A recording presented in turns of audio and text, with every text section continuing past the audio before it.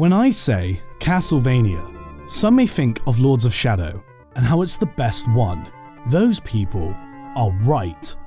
Lords of Shadow is a reboot of the boring, stale Castlevania franchise that, like most reboots of the time, was completely necessary and reinvigorated the franchise with astounding success.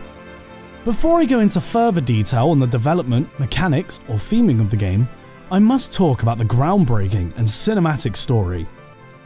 The once successful steel mills of Sheffield, South Yorkshire have shut down and most of the staff have been made redundant. Former steelworkers Gabriel Belmont and Zobek have resorted to stealing scrap metal from the abandoned mills to sell.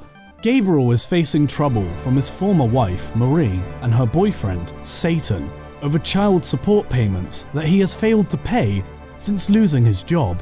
Gabriel's son, Trevor, loves his father but wishes they could do more normal stuff in their time together.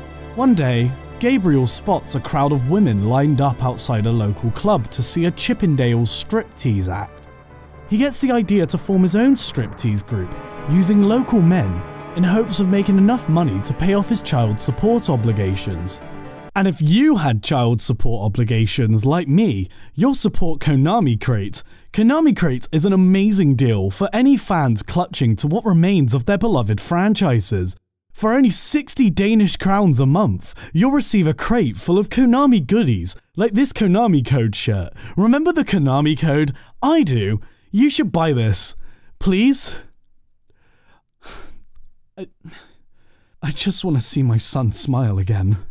The game ends with the Belmonts performing on stage in front of a packed house, stripping to Tom Jones' version of Vampire Killer, their whips being the final item removed, with an astounding success.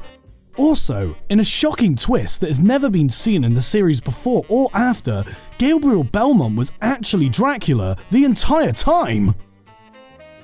The presentation in Lords of Shadow may look dated now, but at the time it was really good. Patrick Stewart sounds really good as well, and the music is also really good.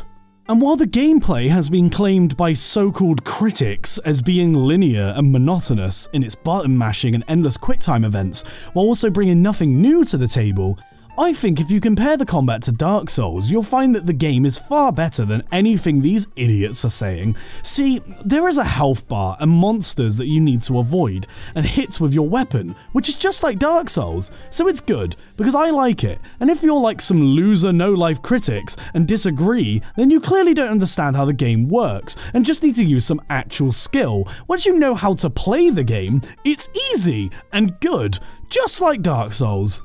So in summary, while a lot of whiners out there will say this game is nothing like Castlevania and just chasing trends of the time, if you actually respect its creator, Shin Gary Miyamango's vision, you'll realise that it's actually really interesting and really good. I give Lords of Shadow a 9.63 out of 10. Everyone should go buy it.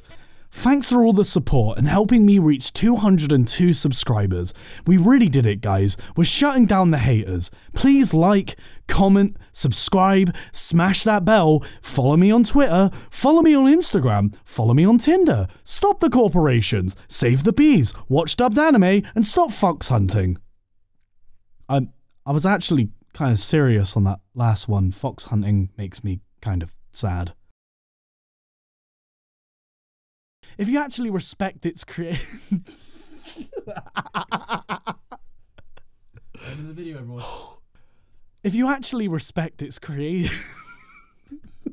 I'm not even gonna get there. Oh fucking hell.